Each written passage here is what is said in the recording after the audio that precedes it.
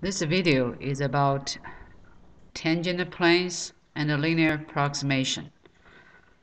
If I give you function depend on single variable, we know the graph is a curve.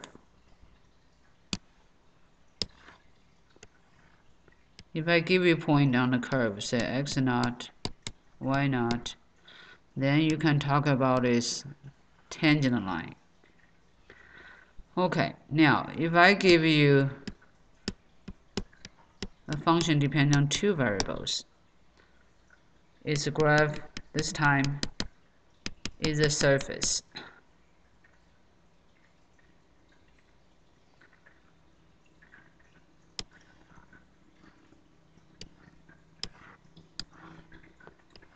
is a surface and I give you point on the surface say x naught, y naught, z naught.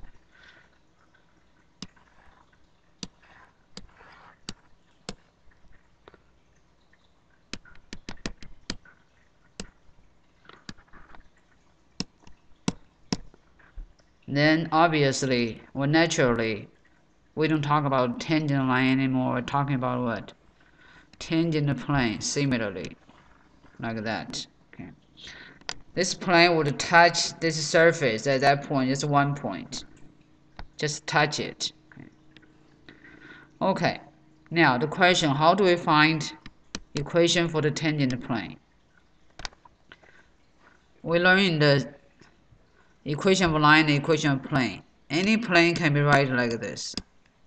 I mean, any plane past the point x naught y naught z naught can be written like this? Y minus y naught plus c. Z minus z naught equal to 0 so any equation past that point. X naught y naught z naught can be written in this form? Okay the question we need to find a b and c.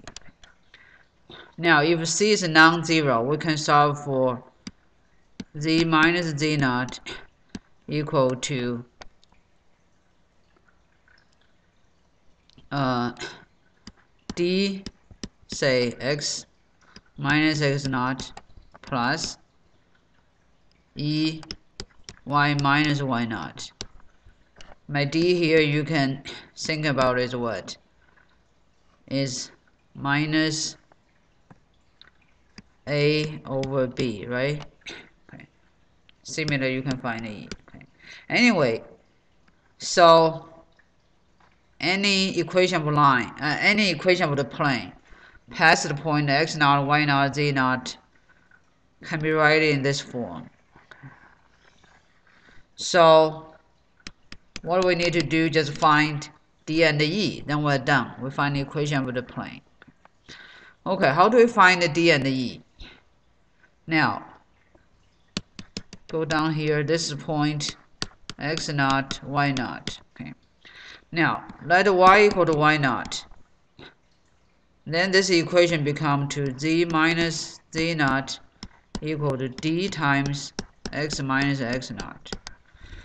What this equation means, y equal to x naught uh, equal to y naught is like this. Remember, this is a uh, y equal to y naught give you a plane parallel with xz plane. Go up will intersect your surface, get a curve like that. And also this y equal to y naught will intersect your tangent plane. Two plane intersection give you what? Give you a line. Okay. This line, in fact, is what? Tangent line to this curve. Okay. So we know the slope of this tangent line, remember? That's exactly, that's what we, we learned in the previous section. That's exactly the partial f to respect to x. Evaluate at that point. Okay. So we can find a d.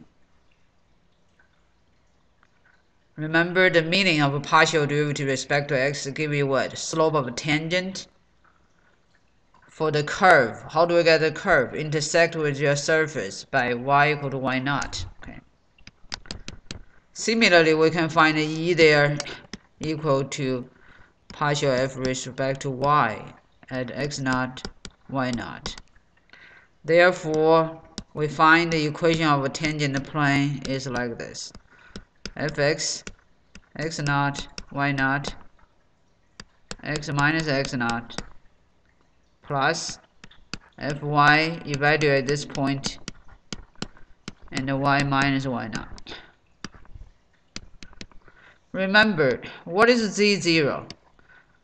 z naught is on the surface, really equal to what? fx naught y naught, right? It's not hard to see. Okay. Therefore, we can rewrite this one, z equal to z naught, which is f x naught y naught plus fx x naught y naught x minus x naught plus fy x0 y0 and y minus y0 so what is this? This is the equation of the tangent plane which we also called is a linear approximation we say linearization okay. okay the right hand side of the equation on the box. We give a name. We say Lxy. Okay. Obviously, the function is a linear function of x and y.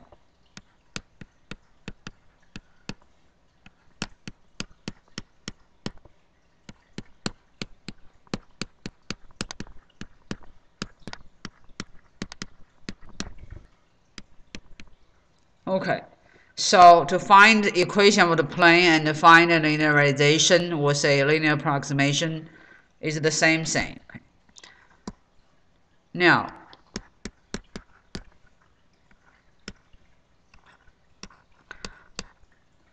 Lxy, which is a linear approximation for xy, will be very close to fxy if this point is close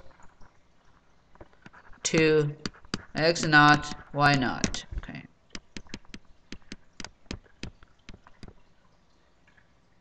This can be seen as a 1D case, okay? Function depends on one variable. Let me show you what we mean by that. Now this this is the point, right? You have a tangent line. This point is x naught, y naught. This tangent line really is linearization for the fx. This is the fx. So you got two functions. One is fx, another is lx. This is the x naught. If you pick your x far away from x naught, then this is the fx, this is the lx. They're quite different. If you choose your x is very close to x naught, this is the fx, this is the lx. They're very close to each other, right? If if x close to x naught, then fx will close to lx. That's why we call it the linear approximation. Okay.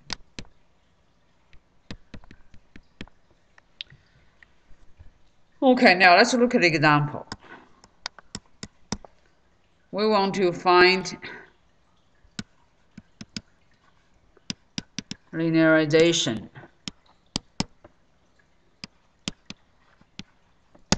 Linearization for the given function fxy here equal to x e to the xy at the point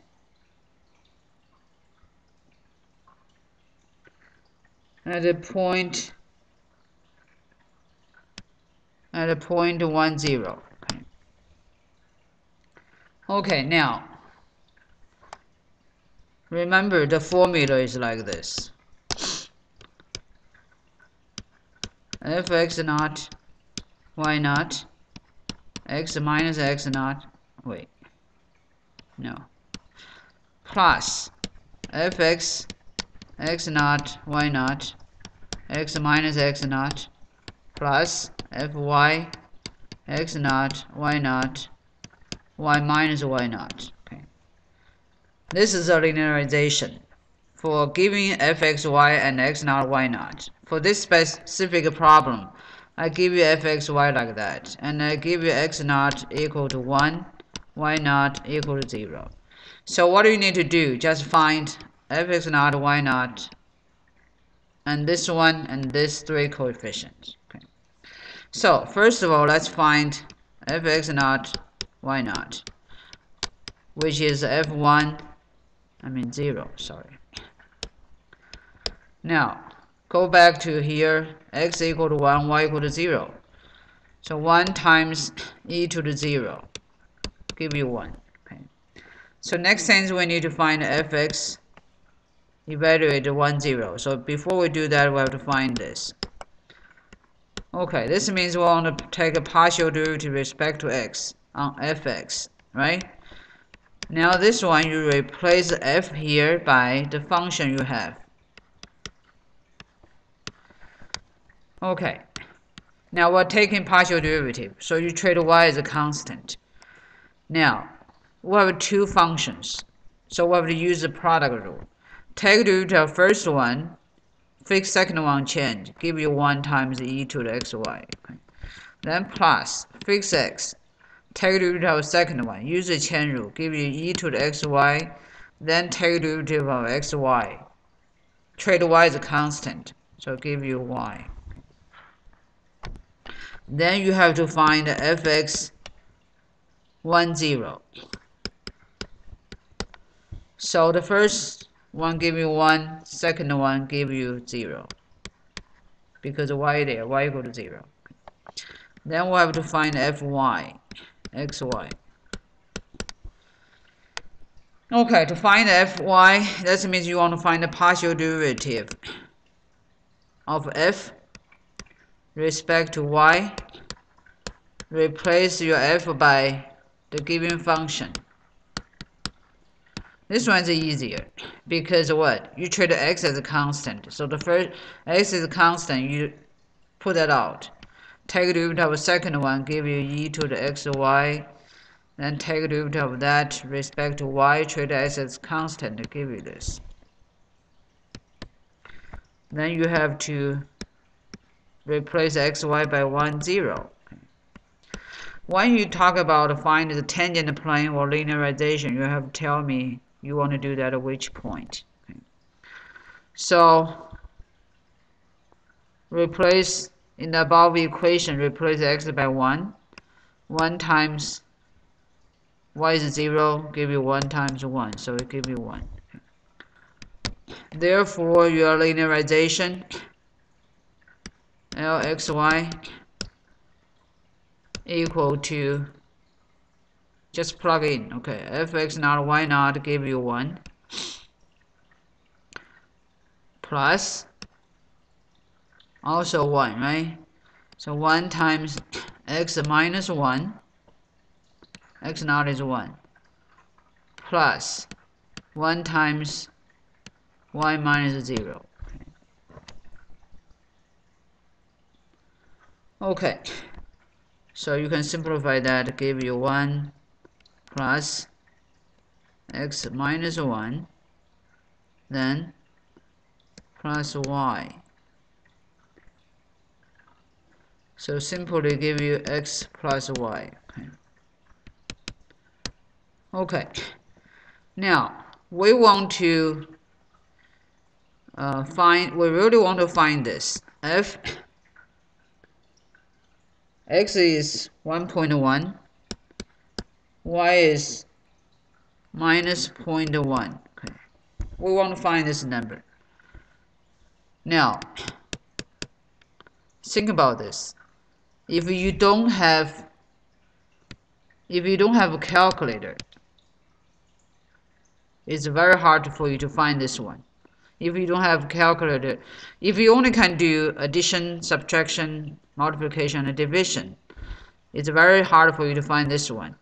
Now, however, this one can be approximated by 1.1 and the minus 0.1, right? This one's easy to find. You just plug in there, x is 1.1 plus y, which is minus 0.1. They give you 1, okay? But this one is not exactly what is, if you use your calculator, it's not hard to find. This one give you 0.985 something. Obviously, y is a good approximation to that. y this time L 1.1 is a linear approximation, linear approximation give you good approximation. That's because of what? 1.1 and the negative 0.1 is what? very close to the point 1 and 0. Okay, another thing we need to learn is like we call the total differential. Okay, total differential has been defined this way: partial z respect to x dx plus partial z respect to y dy. Remember, uh, for the single variable function, we define something called a differential, like this way. dy dx dx. Okay. Or you can write this f prime of x dx. We call it dy the differential. Okay. Now, similarly, for the function depending on two variables, we can naturally to have this. Okay. If dy equal to 0, we can say what? This implies f prime of x is 0. Means what? Your z what y equal to fx is what? Constant. Okay. Now look at it here. If I have function partial z respect to x equal to 0, this does not imply z is a constant. Okay, this only say what? z only depends on x. Then partial z respect to y equals 0. That implies your z only depends on y. However, if your total differential equals 0, that implies partial f respect to x and the partial f respect to y, they both 0. That implies I mean f and z same thing, okay, is constant.